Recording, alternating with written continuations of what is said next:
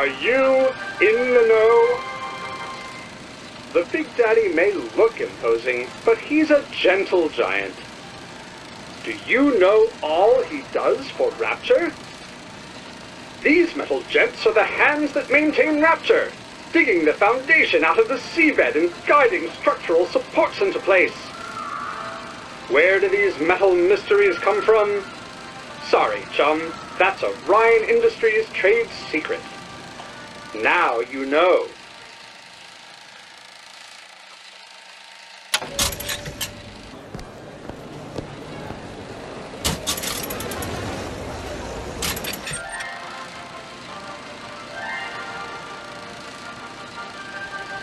Are you in the know?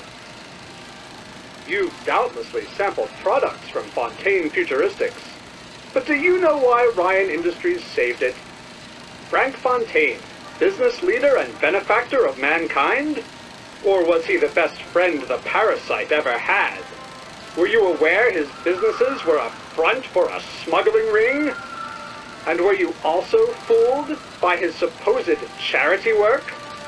At his free clinic, patients became test subjects, and his orphanages were places that children disappeared into and never came out. Once they learned the truth, Rapture's Central Council called for the arrest of Fontaine Futuristics' owner. But, a coward to the end, Fontaine found a hail of bullets preferable to facing justice. The council asked that Ryan Industries assume the burden of stewardship of Fontaine's ill-gotten assets. And Andrew Ryan accepted that burden for the people of Rapture. Now all citizens can enjoy these products, free of criminal taint. Now you know.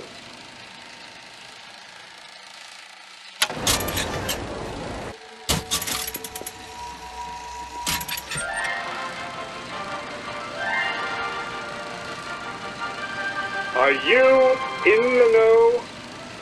Innovation and competition are what fuel Rapture. But that fuel can be diluted with rumor or flat-out lies.